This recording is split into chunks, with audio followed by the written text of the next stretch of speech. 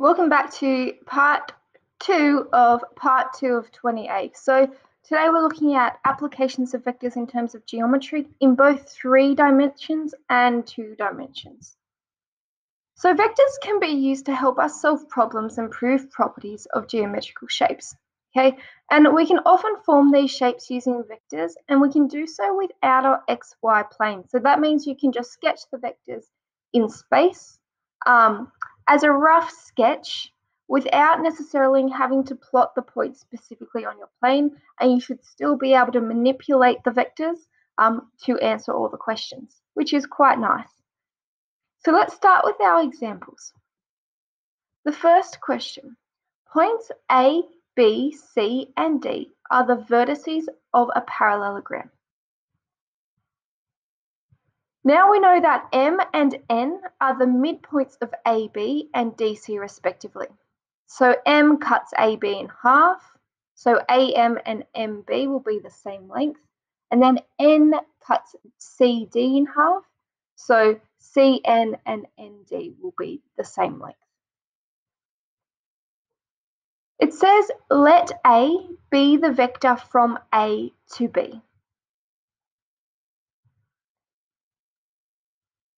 So just make sure you have your arrow indicated by the direction and be careful not to mix these up with your, your parallel line indications.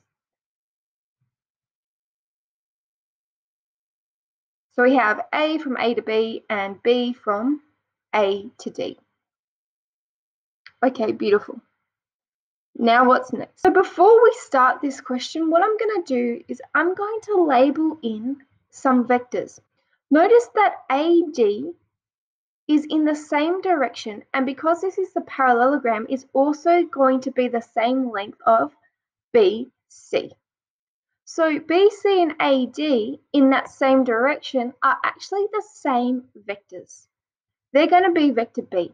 The same with AB, that is in the same direction and the same length as D to C. So I could say that AB and DC are also going to be equal and these two are going to be equal to vector A. And be very careful about your direction again. It has to be from D to C that equals vectors A to B. Now this is going to help us with expressing MD in terms of A and B.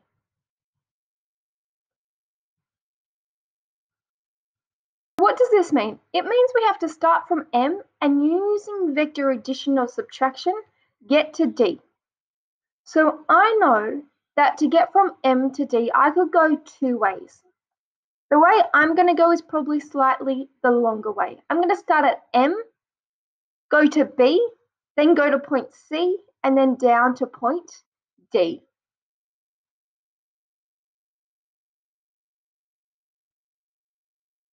In this way, I can write my path using vector addition. So MD really equals vector MB plus vector BC plus vector CD. Now let's sub in what we know. B is half of vector AB. Vector AB is just little a, so I can write that MB equals half of vector little a.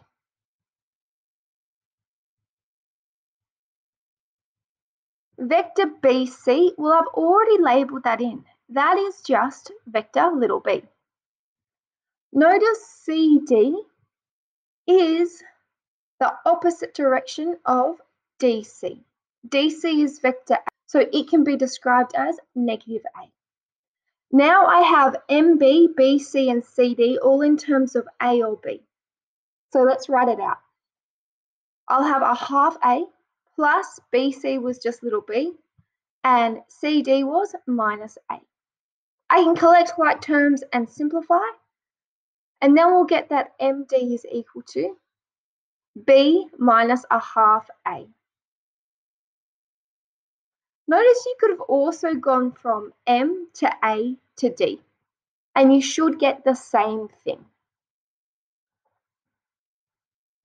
Part 2 we need to find mn. So again, we start at M and go whichever way you like along the vectors that we have drawn in to get to N. Again, I'm going to go in a similar direction. So I'm going to go from M to B, and then B to C, and then C to N. We know that MB is half of A in the same direction, half the length. BC, we know that's B. CN is just going to be half of CD. And we know that CD from our previous questions was in the opposite direction of A or minus A. So we get mn equals half a plus b minus half of a. And what you'll notice, we end up with vector b. And this is awesome because if you draw a direct line from m to n, notice this is going to be the same length and the same direction as BC and vector AD.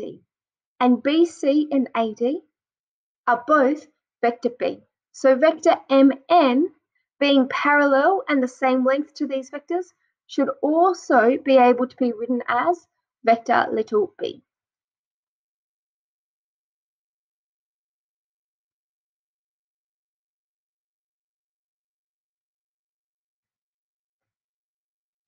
I'm going to flip this on its head and introduce you to vectors in 3D.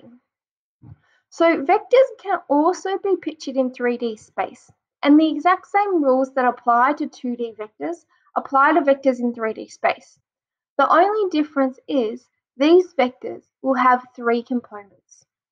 They'll have an x direction, they'll have a change in y direction, and they'll also have a change in z direction.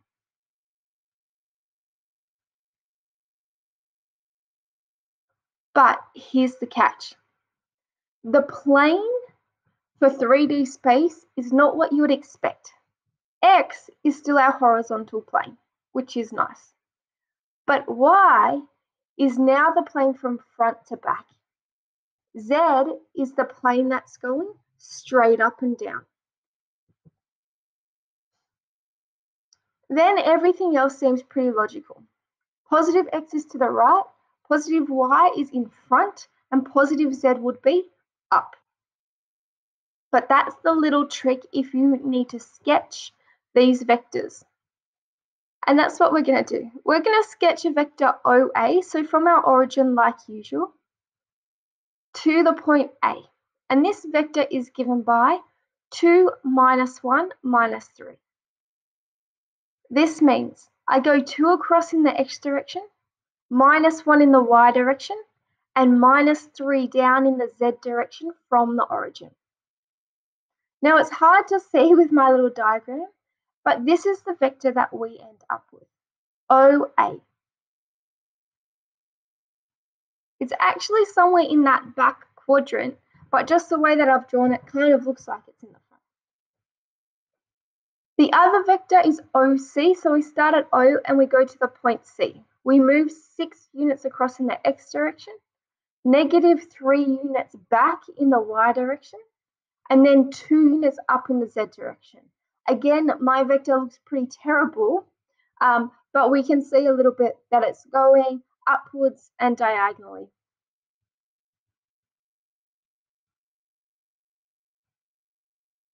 How do I compute OA plus OC if these vectors are in three dimensions? And the answer is simple. We do exactly the same as what we would have done in 2D. So you add each component component-wise. So you do 2 plus 6 will give you 8, minus 1 minus 3 will give you minus 4, and minus 3 plus 2 would give you minus 5. So you add the usual way. You also multiply by a scalar in the usual way. So if we had 2 times vector OA, we would just have 2 times vector 2 minus 1 minus 3 Multiply each component by 2, bring it inside, and then simplify. So 2 times vector OA is really equal to 4 minus 2 and minus 6. And again, this will be a vector in the same direction as OA, but just double the length like usual. Okay, let's apply it to some fun geometry. Well, fun in my opinion. Here's the situation. OABC is a trapezium. So it's a, a trapezium in three-dimensional space, okay, with OC equal to 2 times AB. We know also that OA is equal to 2 minus 1 minus 3 and OC is equal to 6 minus 3, 2. Now I'm just going to draw this without the plane because it's a lot easier to visualize. So you can feel free to draw it in two dimensions like so.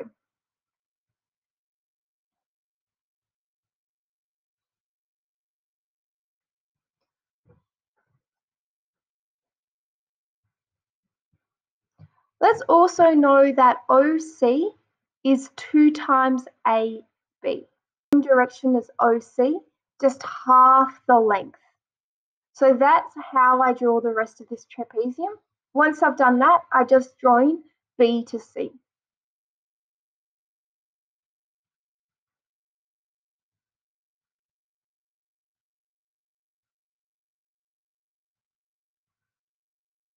indicated that OC is parallel to AB on my plane. And I've also put different arrows in to indicate the direction of each of these vectors. OA, A to B, B to C, and O to C. First, we need to find AB. So what is that vector?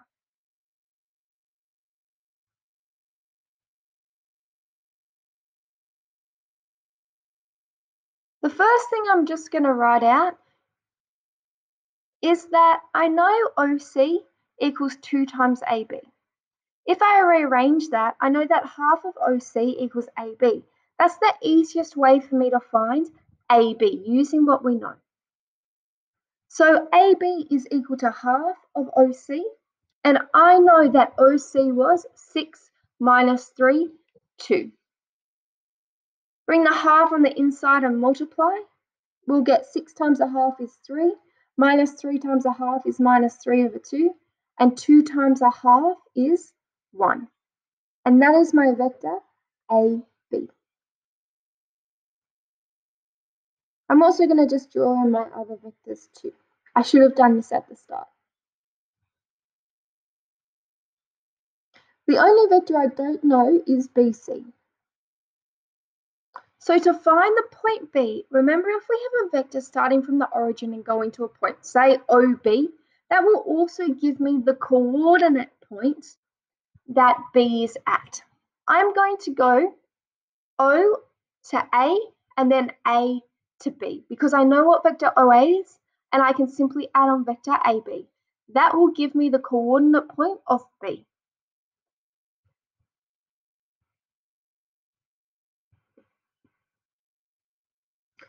OA was 2 minus 1 minus 3 plus AB, that was 3 minus 3 on 2, 1.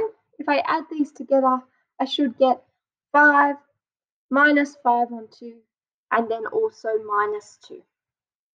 So that is not only my vector starting from the origin and going directly to the point B, but is also the coordinate of B, just like we saw in 2D that this happens.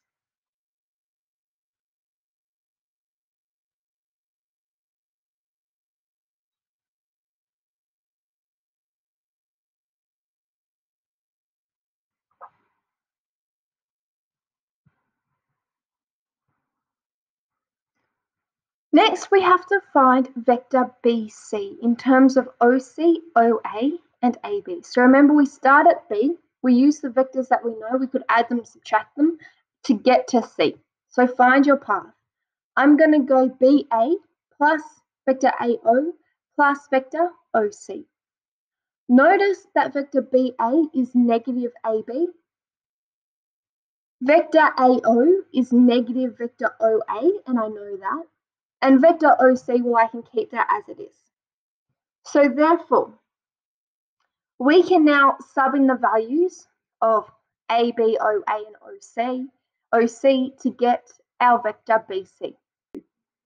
Again, add component-wise, but remember to take the negatives and times them into the vectors where appropriate.